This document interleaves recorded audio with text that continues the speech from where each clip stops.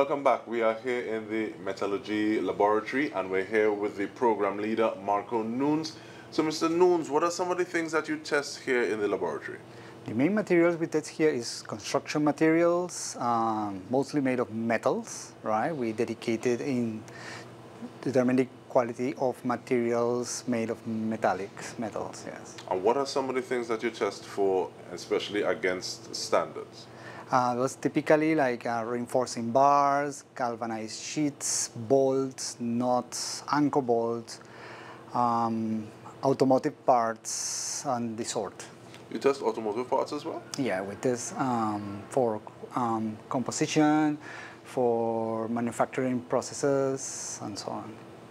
It makes me feel that there's a lot of collaboration between both the standards and other, well, bureau standards and other, some agencies like that.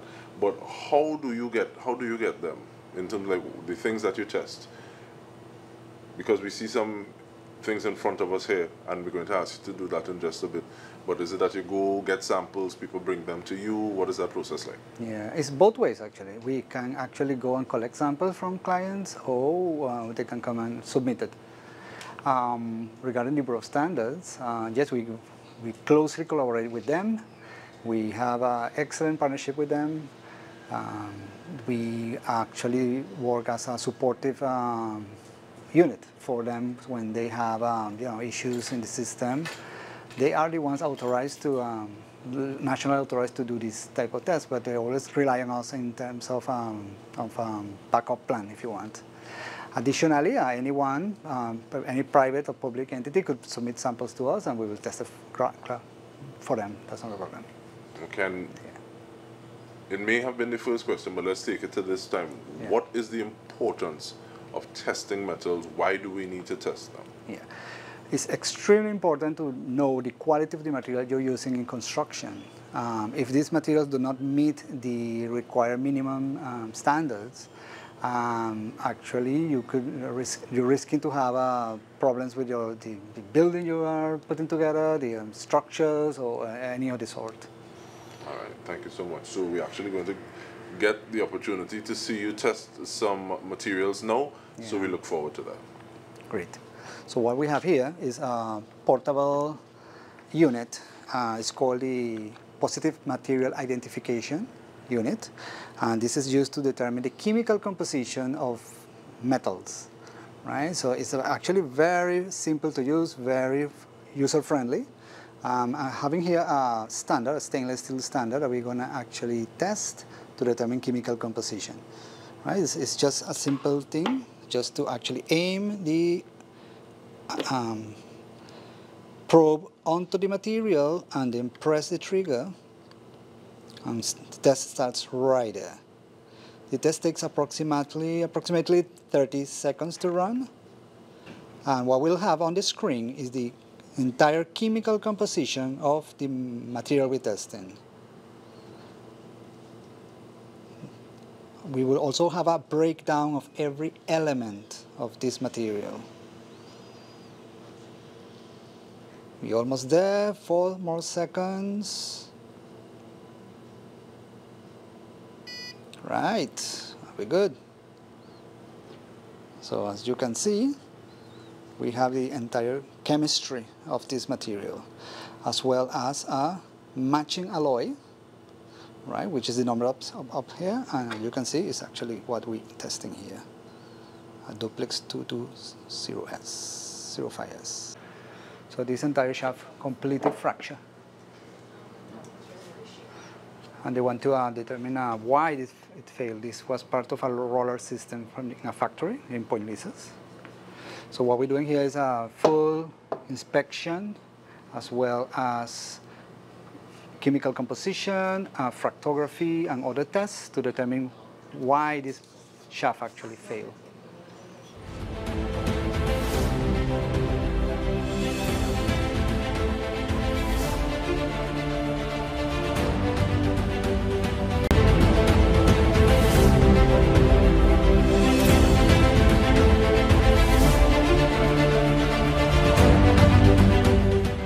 Still in the metallurgy laboratory. We would have spoken with program leader Marco Nunes. Time now for Deputy Lab Manager Rene Gomez. So I am about to demonstrate the use of the X-ray fluorescence spectrometer, XRF as it is commonly called. So the purpose of this machine is to determine the elemental concentrations present in any unknown sample or compound that would be submitted to us for analysis.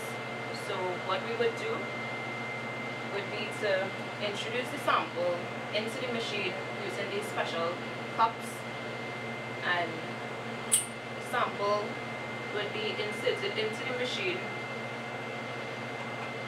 making notes of the correct position because this could test up to 12 samples at a time. So I would have placed it in position 5 and right now I'm going into the software which is already present on the screen and I'm going to introduce the sample ID characteristic to the sample. So I would have placed it in position 5 so I'm going to select that now. I'm entering the name for the sample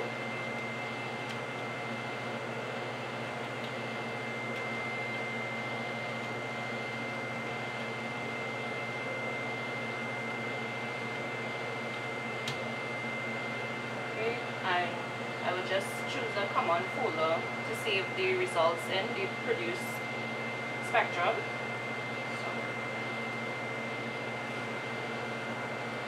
And just click analyze and the machine would rotate and the sample would then be inserted into the spectrometer whereby the x-rays are propagated onto the sample to get the characteristic concentration. So this test usually takes about 18 minutes to complete. So once the 18 minutes is finished, we would get the percentages of if it's iron, aluminum, whatever that is characteristic to the sample, it would produce that. So this machine is limited in that it can test test elements from fluorine all the way up to uranium. So based on whatever sample we get, it has the accuracy to determine that. So we have respective um, calibrations that are built into the sample, into the software so that we can use that to calibrate if we have an idea of what the sample is. So this is the sample that we'll be testing. Now I'm going to demonstrate the X-ray diffraction spectrometer. So this is different from the X-ray fluorescence in that it measures the actual wavelength of the of, the sample to be tested. So as opposed to the XRF which gives the elements, the X-ray diffraction gives the actual compounds. So XRF will just give you elements on the periodic table. This would give you combination of elements. So you can get like sodium chloride, silicon oxide, you know, those different type of combinations of elements for things that people have unknown samples for. So I would have loaded the sample in and I'm going to now run an analysis for you to see. So Entering the sample information into the software.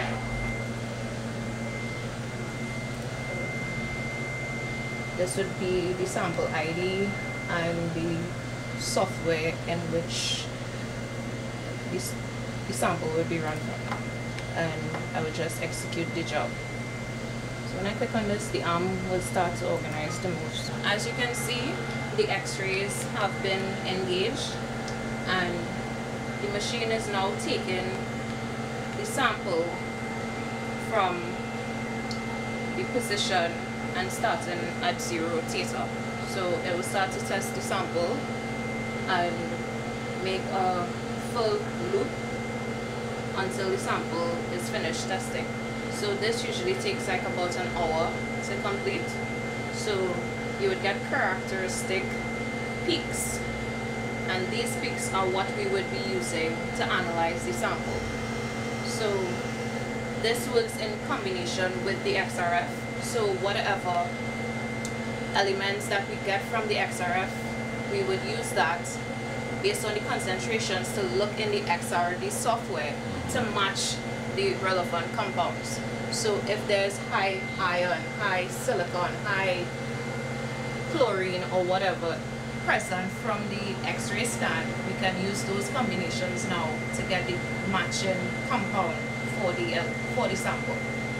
So we've been bouncing around in the metallurgy laboratory. We now are speaking with technologist Rajesh Byron, and we're going to be getting a little idea what the DMG Universal Testing Machine is about. It's behind us. So Mr. Byron, thank you for the time, but what's going on with this machine? What do you use it to test? Okay, so this machine we tested, uh, we use it to test uh, rebars and um, wires and we also test for utility companies also, material for utilities. All right, so when you say, so one of the things I'm thinking about is how much it could pull. I don't know if I'm wrong, I don't know if I'm right. Yes, well the So- capacity of this machine is 600 kilonewtons. And when you say test, that's just pressure? No, it's in tension. Okay. Yes, yeah, well, it's in pressure but in tension. All right, and so I think let's go through and see what's going on with that because I know we also have technician Michael Joseph. He's going to be here putting the machine through his paces. So we're going to see what it can do. All right, so right now we will test a, um, a rebar. Uh, we'll just do a tensile test on a rebar and you'll see how it's, how, it, how it's done. All right.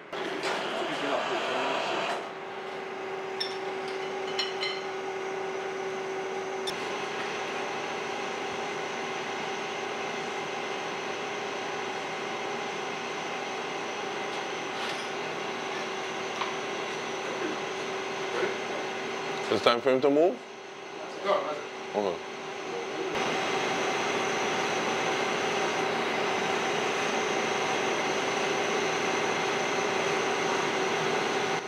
So it's pulling it there? Yes, it's pulling. It's, it's pulling it. You'll be able to see it. Um, later on, you take off your sensor. Um, if you're ready to fail, you'll be seeing you'll be moving a lot faster. Right, you can off. Um, when it fails, it is below, right? Um, You cannot You hear that right, Andy? You see, we start to see it moving a little more now, and it's going to move to the point of failure, and we see it moving, and it'll be loud. Um, continue. That's it. You see it moving now?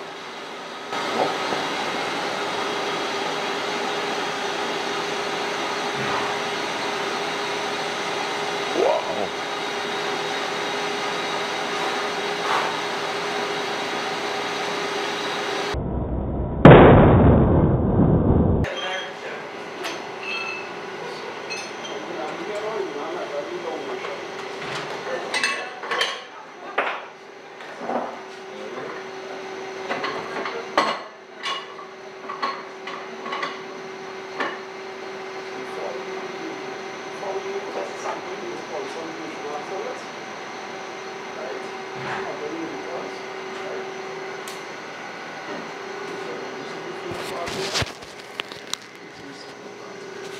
So you said before you before you test the sample, you put some inch marks on it. gauge marks. Gauge marks. Yeah, gauge marks Okay. yeah. of 200 millimeters, right? Mm-hmm. So that will give us how long the material elongate.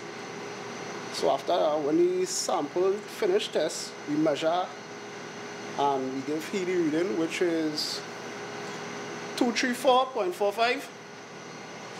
And we give you what percentage the material stretch. That's it. That's much. I really wasn't expecting that. Pow! So after testing, so, well, if you want to see. Mm-hmm. After testing, uh, this is a graph of the test. We'll give you the ultimate tensile strength and also the yield strength of the material, which is important to don't get uh, ASTM standards to ensure that the material um, conforms to the standard. Well, a wise man once told me it's better for people to invite you back than to ask you to leave. So there are so many more things that we could be finding out. We didn't do the IFTR, well, no, FTIR rather.